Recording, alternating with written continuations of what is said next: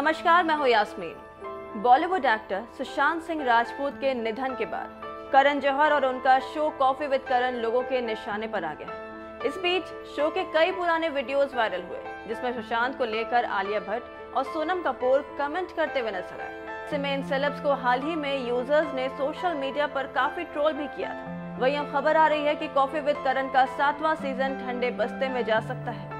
एक leading website के मुताबिक, इस शो को लेकर हो रहे विवाद को ध्यान में रखते हुए मेकर्स ने इसके सातवें सीज़न को हाल फ़िलहाल शूट नहीं करने का फैसला किया है। मालूम हो कि कुछ हफ़्ते पहले स्टार वर्ल्ड ने कॉफ़ी विद करण के सातवें सीज़न का टीजर जारी किया था। बता दें कि सुशांत की मौत के बाद से ही लोग करण जौहर पर उनकी मौत का इल्ज़ाम लगा रहे हैं। ऐसे में मेकर्स को इस बात की चिंता है कि अगर इस वक्त शो का नया सीज़न आया तो उन्हें ऑडियंस और सोशल मीडिया के गुस्से का सामना करना पड़ सकता है। वही कहा तो ये भी जा रहा है कि कोरोना वायरस के चलते कई सितारों ने शो के लिए शूटिंग करने से मना कर दिया। बता दें कि सुशांत के निधन के बाद आलिया भट्ट और सोनम कपूर का कॉफ़ी विद करण से वीडियो वायरल हुआ था। वीडियो में करण ने आलिया से किल मैरी और हुकअप का सवाल पूछा था। उन्हें तीन ऑप्शन दिए थे, रणवीर रणवीर और सुशांत।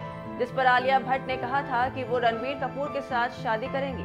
रणवीर सिंह के साथ हुकअप और सुशांत सिंह राजपूत को किल कर देंगी। इसके बाद एक और वीडियो सामने आया था जिसमें सोनम कपूर कहती हैं कि वो सुशांत को नहीं जानती। इस वीडियो को लेकर सुशांत के फैंस ने तीनों सेलेब्स पर जमकर खरी खोटी सुनाई थी। ऐसे में कहा जा रहा है कि करण जौहर के इस चैट शो का आना अब मुश्किल हो गया खबरों की माने तो इस शो के ज़रिए करण जौहर करोड़ों की कमाई करते हैं। लेकिन अब लगता है करण को इस शो से हाथ धोना पड़ सकता है। बता दें कि सोशल मीडिया पर कई लोग बॉलीवुड में होने वाले भेदभाव पर अपनी भड़ास निकाल रहे हैं, जिसके चलते करण जौहर सलमान खान के अलावा कई स्टार्स लोगों के निशाने पर हैं। यहाँ तक कि बॉलीवुड के ही कुछ स्टार्स ने भी नेपोटिज्म को बढ़ावा देने वाले स्टार्स को करारा जवाब दिया था। सुशांत सिंह राजपूत की हत्या के बाद कई चीज़ें बाहर निकल के आई हैं। कुछ मैंने इंटरव्यूज़ पढ़े हैं, कुछ डायरेक्टली भी बात की है। तो उनके पिताजी का कहना है कि वो फ़िल्म इंडस्ट्री में हो रही टेंशन के करके बहुत ज़्यादा परेशान थे। अभिषेक कपूर जिन्होंने उन्हें लॉन्च किया, उनके साथ हाल ही में एक फ़िल्म की है, केदारनाथ। उनका कहना है कि it was a systematic dismantling of a fragile mind Ankita जो, उनकी लॉन्ग टर्म पार्टनर रह चुकी है। उनका कहना है कि वो सामाजिक रूप से की गई अपमान और बेइज्जती नहीं सहन कर पाया।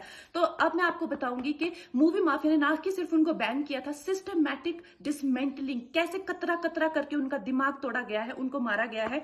तो ब्लाइंड आइटम आप इसलिए लिखते हैं क्योंकि आप जब झूठ लिखना होता है, आप आप को के अंगेंस्ट कोई लीगल एक्शन नहीं लिया सकता क्योंकि आपका तो नाम ही नहीं लिखा, मगर उसकी जो डिस्क्रिप्शन होती है, जैसे मेरे बारे में लिखा जाएगा कि जिस लड़की के घुंघराले बाल हैं जिसको नेशनल अवार्ड मिला हुआ है साइकोटिक है, इस तरह से जो कि मनाली से डिस्क्रिप्शन पूरी दी जाएगी, मगर नाम नहीं लिखा जाएगा। तेईस अगस्त दो हज़ार सत्रह को बॉलीवुड लाइफ सुशांत के बारे में लिखता है कि वो जब भी सेक्स करता है तो सिर्फ़ अपने ही गाने सुनता है, वो सबसे बड़ा नार्सिसिस्ट है। 16 दिसंबर 2016 में मुंबई मिरर लिखता है कि सुशांत एक ट्रक ड्राइवर की तरह लगता है। 22 फरवरी 2019 को मुंबई मिरर लिखता है कि पार्टी में तमाशा करने के बाद सुशांत ने कांच की बोतल एक डायरेक्टर के सर पे दे मारी। 18 अक्टूबर 2018 को डीएनए लिखता है कि सुशांत ने अपने को एक्टर का रेप किया और वो मीटू के चलते अब जेल जा सकता है। और ऐसी न जाने कितने अनगिनत झूठ और ये जो बुद्धिजीवी जर्नलिस्ट हैं, ये जो चील कौए गिद्ध हैं, जो मूवी माफिया के पाले हुए हैं, ये इसको मेंटल इमोशनल साइकोलॉजिकल लिंचिंग को जर्नलिज्म कहते हैं। मेरे बारे में आज तक जो भी कहा गया, मैंने कुछ नहीं कहा लेकिन जब एक स्वतंत्रता सेनानी के खिलाफ गंदगी लिखी गई, मैंने उस जर्नलिस्ट को कॉन्फ्रेंट किया। आपको पता है, उसी रात चार सीनियर जर्नलिस्ट ने मेरे खिलाफ एक गिल्ड बनाई। ऐलान किया गया कि इसकी फ़िल्म को बैन किया जाए फ्लॉप किया जाए। आपको पता तीन हज़ार जर्नलिस्ट गैंग अप होते हैं एक अकेली लड़की पर। उसकी इमोशनल लिंचिंग करते हैं सरेआम और ये समाज कुछ नहीं कहता, कानून कुछ नहीं कहता है। मैंने उनको उन पे केस करने की कोशिश की, मगर एक महीने बाद वो गायब हो गए। मेरी फ़िल्म रिलीज़ हुई, गायब हो गई तो मेरा कहने का मतलब ये है कि अगर ये समाज जिस अन्याय की बुनियाद पर खड़ा है और कभी आवाज़ नहीं आप ये पढ़ते हैं, चटकारे लेते हैं। कभी आपने सोचा है कि कभी नेपो किड्स के बारे में ये क्यों नहीं लिखा जाता है? तो ये अन्याय का फंदा किसी दिन आपके बच्चों के गले में लटका मिलेगा, आपके गले में लटका मिलेगा।